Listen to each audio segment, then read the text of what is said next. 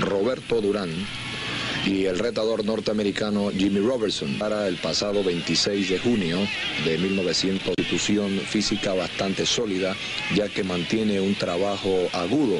La razón eh, no sea del todo conocido de ellos por nos con el desenlace de Enrique Pinder. Que se pasó en Domingo Deportivo la semana pasada, ofensiva de su rival, ataca con ambas manos, eh, llegar a su esquina pensando si cuando se acercaba a la misma se quedaba, fueron ante Rubén Navarro, uno de los boxeadores.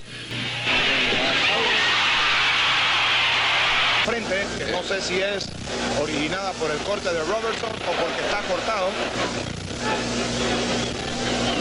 Ahí una buena derecha y cayó Robertson.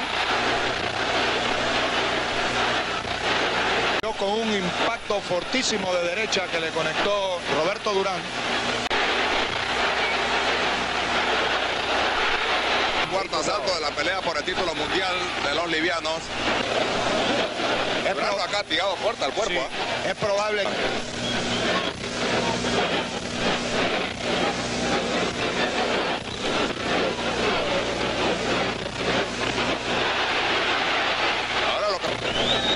fortísimo Jimmy Robertson.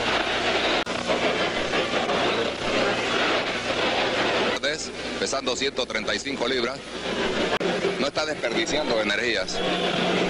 Y debe mantener, manteniéndose activo.